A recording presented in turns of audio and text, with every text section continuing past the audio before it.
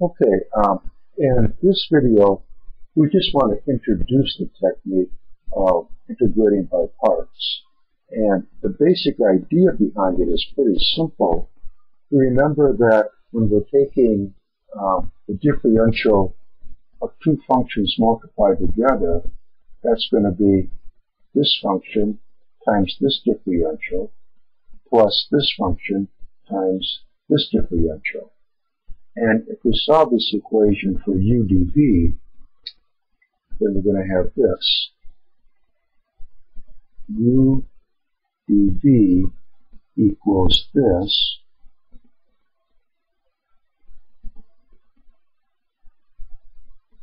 minus the du.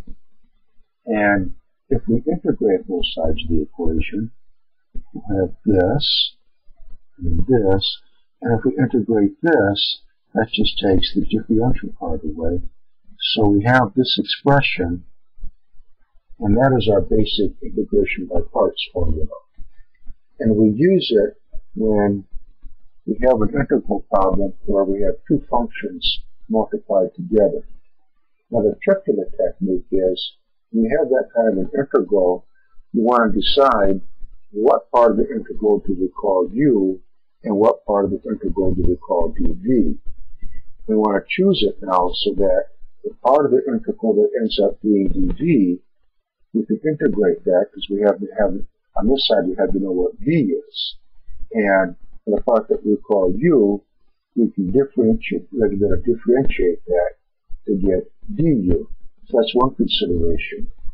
The other consideration is we want to make certain, hopefully have it set up so that when we form this new integral here, it's easier or simpler than the one that we started out with.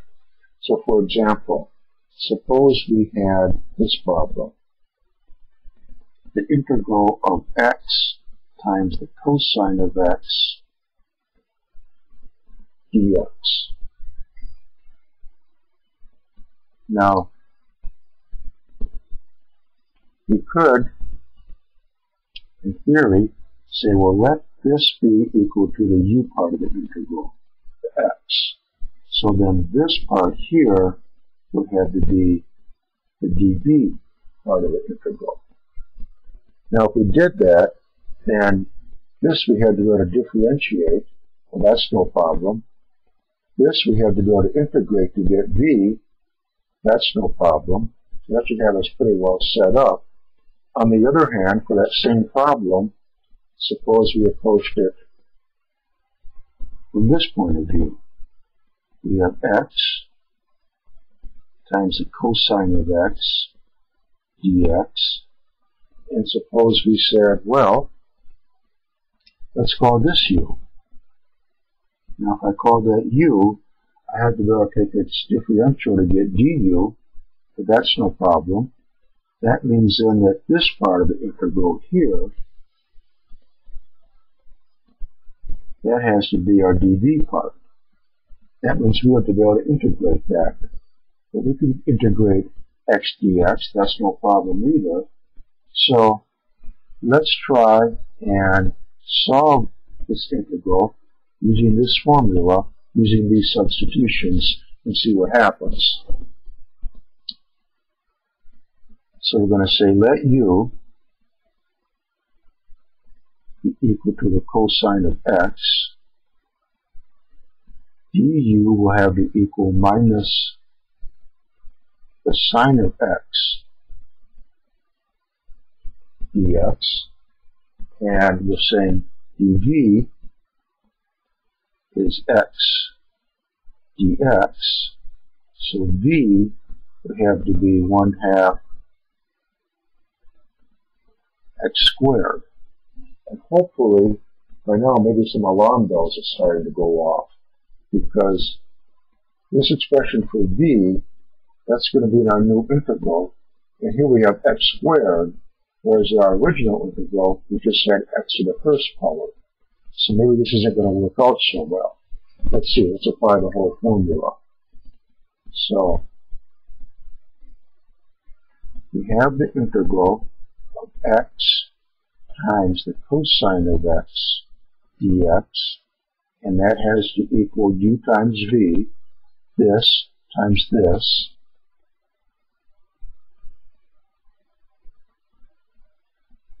minus the integral of v times du, that's this times this. I have a minus 1 half here, so that'll be plus 1 half. The integral becomes the x squared times the sine of x dx. And this expression that we have, this is true, there's nothing wrong with it. That doesn't help us at all. Here we start off with an integral where we had the cosine of x multiplied by x. We should have solved that with a u du substitution. Now we have this integral over here, the sine of x times x squared. If anything, looks like it's even worse than what we, we started with. So let's forget about this approach. Let's go back to this approach. Now we're going to say, let u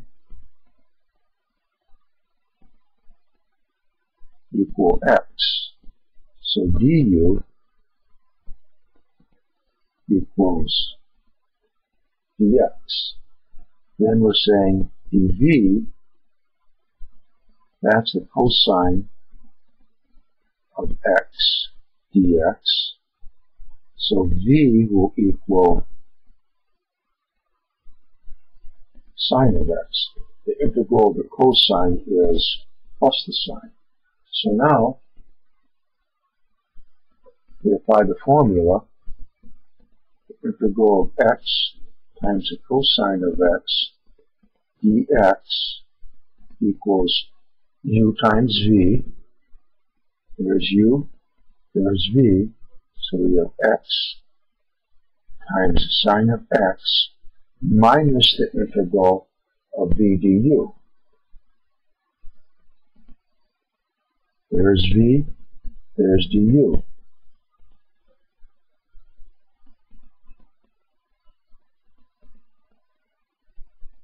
And there, now we're in much better shape by choosing this to be u, then when we take du, we just get dx. So here then, in our new integral, the x goes away. And of course, this we can solve right away. That's minus times the integral of the sine is minus cosine of that minus sign. That would make it plus the cosine of x. What we want to point out is that for this problem here, then, clearly the wise choice is to let this be u and let this be dv. So that we take the derivative, we end up with dx.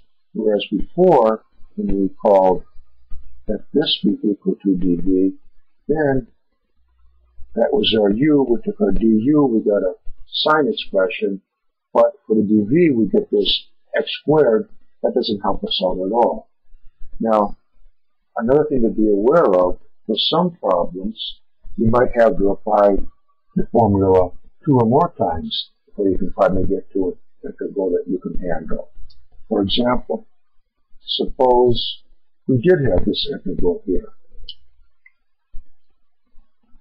Suppose this was our problem. Integral of x squared times the sine of x dx. And by now, you know certainly that's the part that we call u, and this is dv. So let u equal x squared, du will equal 2x dx, and we're saying dv is a sine of x dx, so v is minus cosine of x. The integral of the sine of x is minus the cosine of x. So now we apply the formula. This equals u times v this times this,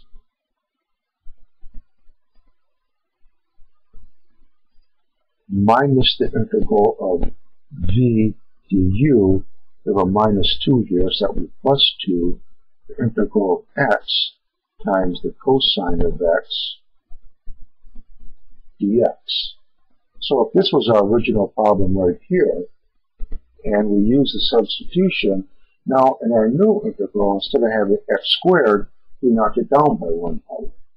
Then, what we do at this point is just exactly what we did before. We apply the formula again, letting that be equal to u, and let that be equal to dv. Then when we do that, we can solve this integral here, just like we did up here. But the point is that since we had an x squared here, make our original substitution, that gives us a new integral here, where the x is knocked down by one power. We still can't integrate that. We have to go ahead, make our substitutions, and then apply the formula once again. Then when we do that, we can solve this integral, take that answer, combine it with this, and we'll have the answer to our original integral. So we had to go two times around without integrating by parts to get the solution for this. And if you're not quite certain if this isn't completely 100% makes, makes sense to you, uh, don't worry about it. Come back and join us for some more videos. We'll actually solve some problems with this technique. After you get a chance to look at those videos, hopefully by then you'll feel more comfortable with it.